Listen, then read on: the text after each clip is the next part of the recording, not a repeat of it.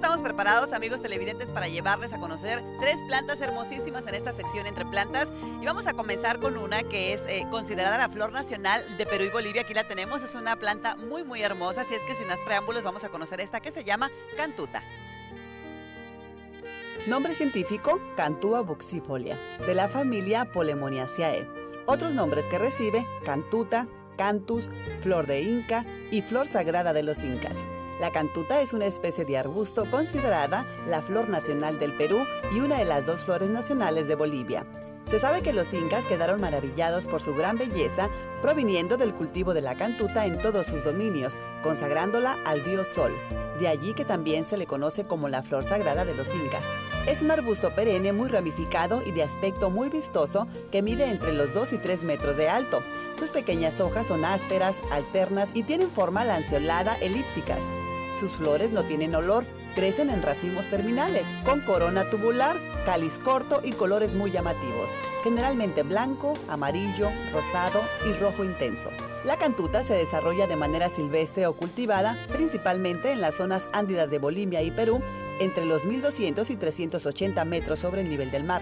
La cantuta que florece durante todo el año es propia de climas templados, pudiendo crecer directamente bajo el sol en lugares abiertos. Prefiere suelos sueltos de textura franco-arcillosos, ricos en materia orgánica y bien drenada. Se reproducen por semillas, estacas y por hibridación se obtienen flores con una mayor variedad de colores. Al igual que la mayoría de flores tipo campanilla y por sus vivos colores, la cantuta puede atraer a sus polinizadores como abejas y picaflores. En la actualidad existen plantaciones en diferentes partes del Perú. Pues bien, vamos a conocer ahora una planta que se llama capuchina. Está muy hermosa, con unas flores que tienen cinco pétalos y son muy coloridas. Las podemos encontrar en rojo, anaranjado y amarillo. Vamos a conocer más de capuchina. Enseguida les presento una planta de nombre capuchina, aunque su nombre científico latino es Tropaelum majus. Nombre común o vulgar, capuchina, capuchinas, y taco de reina. Pertenece a la familia Tropaelaceae. Es originaria de Perú, Ecuador y Colombia. Es una planta herbácea anual y perenne, a menudo trepadora o rastrera, cultivada como anual. Respecto a sus hojas, son redondeadas en forma de escudo, lobuladas o divididas en segmentos, carnosas de un hermoso color verde glauco, caracterizadas a menudo por un olor penetrante. En cuanto a sus flores, son de color naranja o carmín oscuro, en forma de trompeta con espuelas. Su época de floración es en primavera, verano y otoño. Larga floración veraniega. Frutos carnosos de color blanco y de 12 milímetros de ancho. Tienen numerosas formas enanas de 30 centímetros de altura y una preciosa variedad de hojas matizadas de amarillo.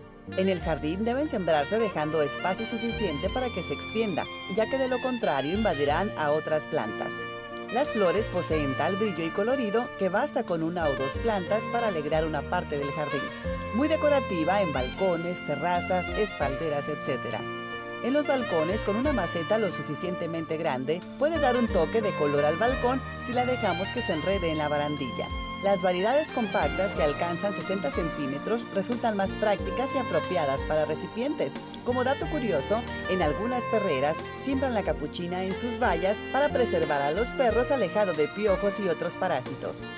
Tanto las flores como las hojas son comestibles y las semillas se pueden encurtir como alcaparras. Es de fácil cultivo.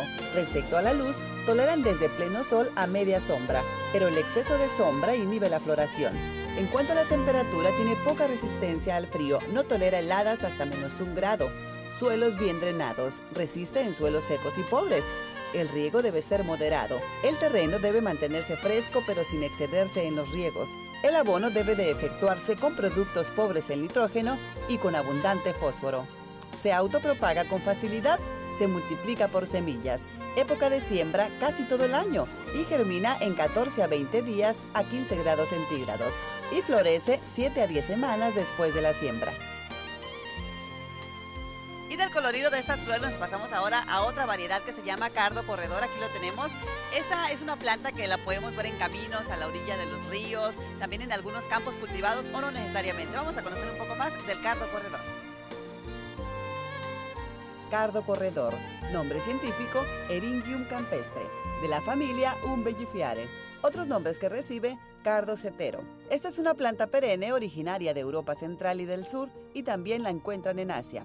Puede llegar a alcanzar 60 centímetros de altura y 45 centímetros de anchura. Este cardo campestre puede autopolinizarse, aunque también se vale de antófilos, dípteros o coleópteros para transferir el polen entre sus flores de color hueso con toques Kelly, dotadas de unidades reproductivas hermafroditas. Respecto a sus necesidades, la especie de este cardo campestre se desarrolla mejor en suelos con pH ácido, neutros o alcalinos, pueden llegar a soportar terrenos pobres en nutrientes. Su parte subterránea crecerá con vigor en soportes de textura arenosa o franca. Estos se pueden mantener generalmente secos o húmedos. Es de suma importancia regar teniendo en cuenta la información anterior pero también factores como exposición al sol, temperatura, textura del suelo, época del año, etc. Todo ello para buscar un equilibrio más o menos constante en la humedad del soporte. Un aspecto interesante a comentar es que no toleran los encharcamientos, por lo que la zona de plantación debe estar muy bien drenada. En cuanto a sus necesidades lumínicas, podemos aseverar que es muy exigente. Solo puede situarse en un lugar con exposición directa al sol para no repercutir negativamente en su crecimiento de forma normal. Con respecto a su dureza contra condiciones adversas, podemos decir que el rango mínimo de temperatura con la que se puede lidiar son las de la zona 6 y aguanta perfectamente brisas marinas. Eso ha sido todo en la sección de Entre Plantas, amigos. Y yo para despedirme quiero mandarles una bella postal. Vean esta imagen, está preciosa, parte de las bellezas que nos regala la naturaleza y que tiene que ver con las plantas. Es un paisaje que es un camino, como lo pueden apreciar, los árboles están increíbles y lo más interesante es que pueden observar en el tallo de estos árboles una pequeña alfombrilla que se va acomodando perfectamente bien. ¿A poco no es una delicia, eh? Para disfrutar. Espero que les haya gustado. Esto ha sido su sección Entre Plantas y nosotros nos vemos la próxima sección el lunes aquí en Ritmo y Salud. Thank you.